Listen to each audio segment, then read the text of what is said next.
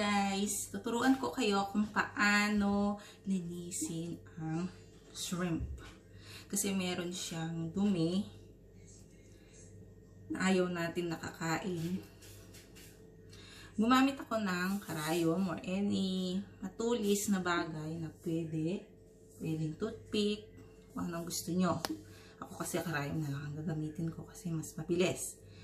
So, ito, natutunan ko to sa isang chef sa atin, which is easy to follow. So, ipasok natin to sa, you can use boss, shrimp, kung paano sila nililinis.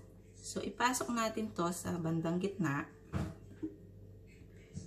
Matatanggal natin yung dumi niya sa loob.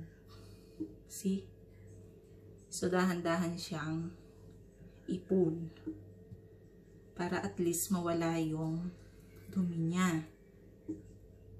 Minsan di mo nakukuha ng isang beses lang. So, pwede mo siyang kunin sa iba't ibang part.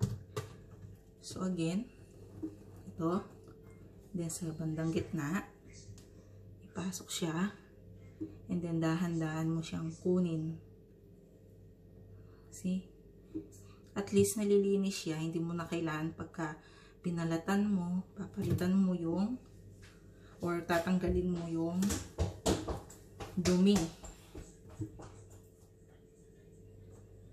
See?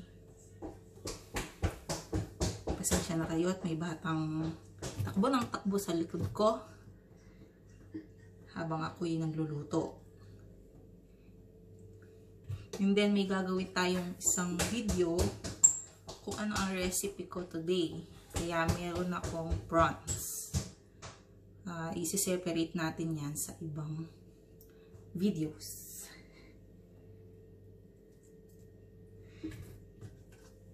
Since I'm a first time mom, so lahat ng recipes talaga kailangan ko matutunan.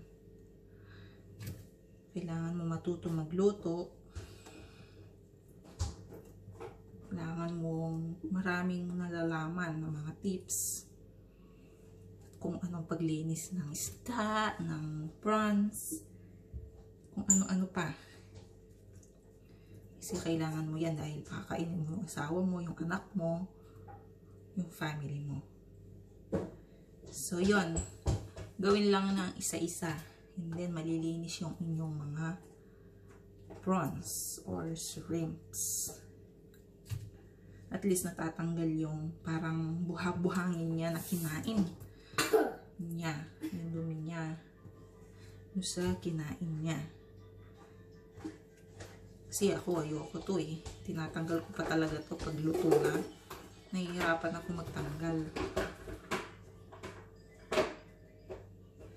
So, yun.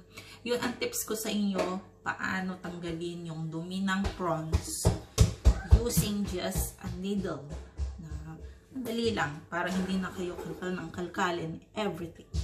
Okay? Okay, thank you for watching. Please subscribe. Bye!